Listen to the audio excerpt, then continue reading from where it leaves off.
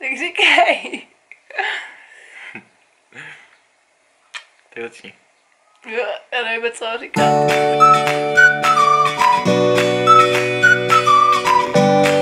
Tak dneska už je neděle, 20. ledna. A my jsme to tady konečně všechno pobalili a nadspali do auta nějakým způsobem. A budeme vyrážet hledat práci. Jo, no. Prostě dneska se přesuneme, plánujeme to nějakých 200 kilometrů uh, směrem k Taurance, Tauranga, uh, kde bychom chtěli vlastně se podívat po nějakých sadech a uh, objíždět ty sady a ptát se tam, jestli by náhodou nebylo nějaký volné místo pro nás dva. Ať vám ukážeme trošku pokojík, jak to tady vypadalo, aby jsme měli taky nějakou památku i my. Tak do našeho pokojíku jsme měli vchod přímo takhle ze zahrádky. Takovou terásku jsme tady měli. Tak jsme měli hnedka postel. Tady nějaký odkládací stoleček. Tady za rohem tak byla ještě taková šatna. Se dalo i rozsvítit. A potom jsme měli i vlastní záchod a koupelnu. Tady to vypadalo takhle. No, teď se můžeme jít podívat na auto. Pojď, tady musíme zamknout a Ano.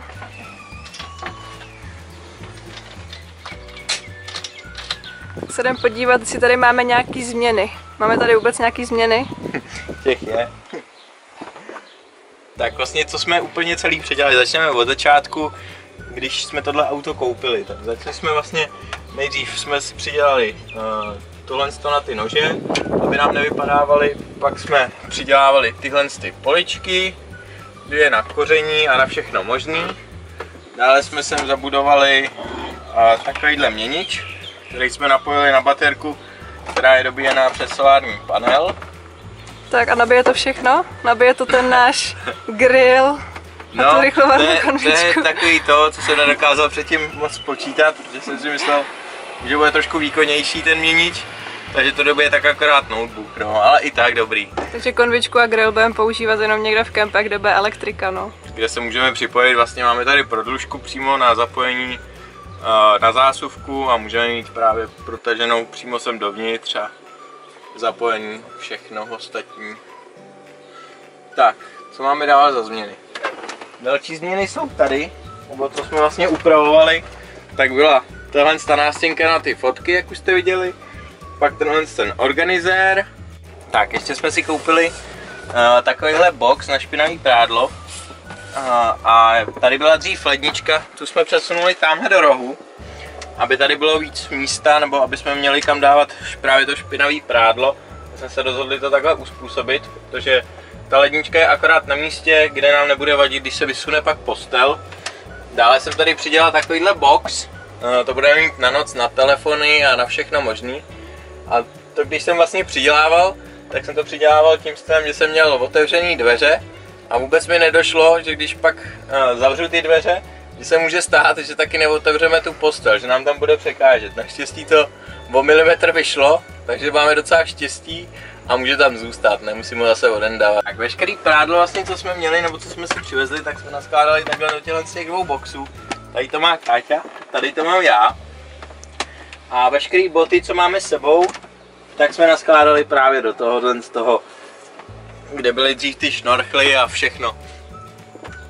Dále tady vlastně máme ten úložný prostor, kam jsme dali ten grill, konvici a všechno možný. Vlastně máme tam i, je to velký, je to hodně velký ten úložný prostor, takže jsme tam dostali i ty naše krosny, s kterými jsme přijeli, i ty tašky, pak tam máme kempingové židličky, máme tam toho docela dost, no.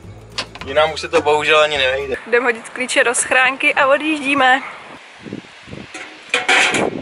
Tak jsme sotva vyjeli a už možná máme práci. to bylo rychlý, co? Protože včera Kuba přidával na facebookovou skupinu Working Holiday, eh, že scháníme práci, tak tam nějaký, nějaký kluk mu potom psal, že zná nějakou farmu, kde jakoby majitelkou je i Češka, takže jsme jí, nebo Kuba jí dneska ráno volal a ona říkala, že jo, že má volný místa dvě, ale že by chtěla, aby jsme tam byli minimálně tři měsíce. Má to překlad tak, že prostě by nás chtěla něco naučit abychom tam vydrželi právě ty tři měsíce aspoň a neřekli po třech týdnech, že zase jedeme jinam. No. Jelikož je neděle, tak smlouvu budeme podepisovat až zítra, takže s tou paní budeme mluvit až zítra. Ale aspoň se budeme podívat do toho okolí, no. Podíváme se, jaký tam jsou kempy a kde bychom v případě ty tři měsíce bydleli.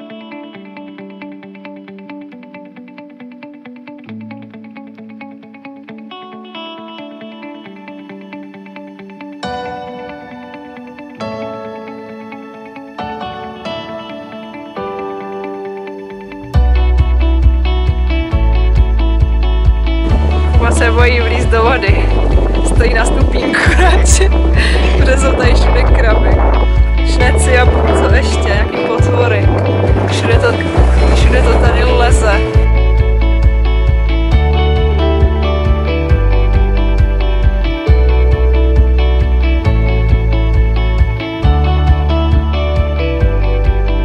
Dneska je pondělí a dneska v noci probíhalo naše první spaní v autě. Už si vaříme snídani. No, nic večeří, protože včera už se nám do toho nechtělo. Najít nějaký těstoviny s kuřecím masem z pitlíku jsme tady koupili, tak uvidíme, jak to bude. A spali jsme na takovémhle nádherném místě. S výhledem na oceán. No, je to spíš takový bankoviště než kemp, ale zadarmo, co by člověk chtěl. Jsou tady akorát takové záchody a tamhle je, sprcha venkovní, kde teda se jako dá vykoupat jenom fakt čistou vodou. Že člověk nesmí mít žádný šampon nebo něco takového.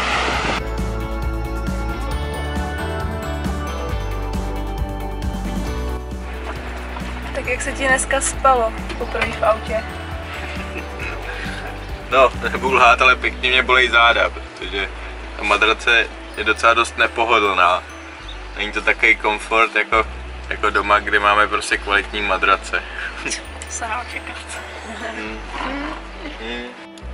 Jinak tady to parkoviště, kde dneska parkujeme, tak je zadarmo, ale smí se tady parkovat jenom třikrát do měsíce. Takže bohužel budeme muset se taky placený ještě stejně.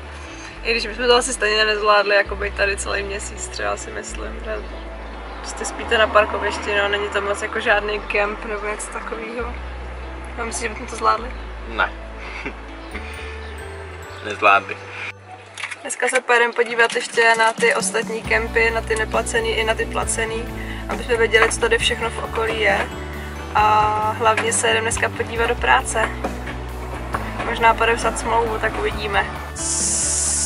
Tak prosím vás, Kuba našel nějaký vodopád, že se tam půjdeme podívat. Ale jsem tady po takových těch dolů. Tak končí, pak tam máme tak 50 metrový strach. Ale by musel se nahoru, protože jsme šli špatně, jako jo. Na to dostačí, jo. Tak už jsme nejspíš našli tu správnou cestu a tentokrát lezem dolů po provazech. Ale tamhle už je nějaká voda. Vypadá docela čistě. Tak jdem šplat. Tak jsme sem konečně dorazili. Ale teda nevím, jak se vykoupeme. Tam, tam ty tarzani tam nejspíš skočili. A jako to si teda asi netroufneme, no úplně. Tak já myslím, že se půjdu ošplouchnout asi tady do těch loužiček.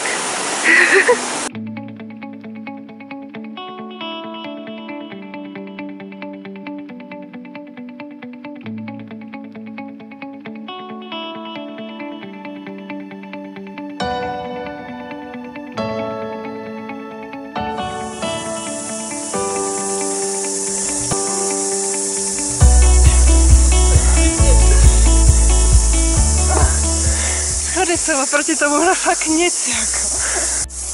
Tak jsme si zahráli na Maori a pak jsme zjistili, že tady vede normální turistická cesta. Která je po schodech. Takže zase schody.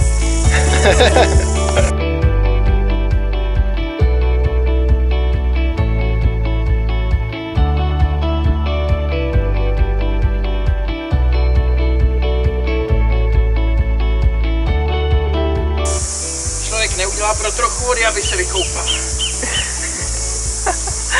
Teď postupovat takovýhle zkoušky. A je to trh. jsme konečně dorazili s tou. Jsem úplně splavený. Já taky. Teď vykoupat se je povinnost. Máme tu přímo ten vodopád, k kterému jsme šli. Je to náš první vodopád, takže žádný velký. Ale dost náročná cesta za to k němu. To teda. Když jsme šli po nějaký maorské cestě a to jsme vylezli tam nahoře u něj, takže jsme se nemohli vykoupat, tak jsme to zase lezli zpátky jakoby znova ještě víc nahoru a pak zpátky dolů po nějaký turistický, aby jsme se mohli vykoupat.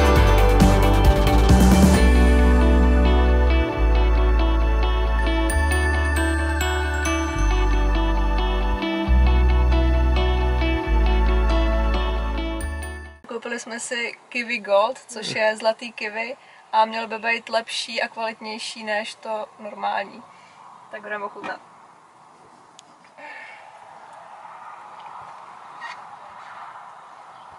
Chutná úplně jinak. Je sladší o hodně. A jak napůl se žlutým melounem nebo něco takového. Tak jak jsme vám říkali v autě o té práci, tak jsme ji dostali. Včera jsme byli podepsat smlouvy a dneska už máme první pracovní den za sebou. Bylo to pěkně náročné. To bylo. Když jsme byli poslani na jeden sad, kde jsme asi tři hodiny pracovali, zalivali jsme tam asi takhle malinký sazeničky kivy. A potom nás po třech hodinách poslali asi 20 kiláků, nebo jak to bylo daleko? 20 km. 20 kilometrů úplně na jiný sad, kde teda řekli, že budeme aspoň jako pár dní nějakých, že zase nebudeme se muset vracet tam na ten. No a tady jsme namotávali takový větší sazeničky, jednu vlastně vidíte i tady. Tak ty jsme namotávali na ty šňůry, no, nahoře. Bylo to taky náročný, protože to bylo celý den na sluníčku a je tady fakt docela dost velký vedro, takže Pěkně máme, jsme se spálili, máme úplně spálené celý nohy a jsme zapomněli namazat, taky máme úplně rudý. jinak celý den jsme se mazali 50, protože když jsme se nemazali, tak jsme rudí asi úplně celý, takže Každopádně máme od majitelů dovolíno spát přímo na tom sadu, což je super, protože tady záchod, je tu umyvadlo, není tady teda pitná voda, ale to nám nevadí, protože máme barely ještě s pitnou vodou. V příštím videu se můžete těšit na nějakou ukázku z našeho pracovního dne.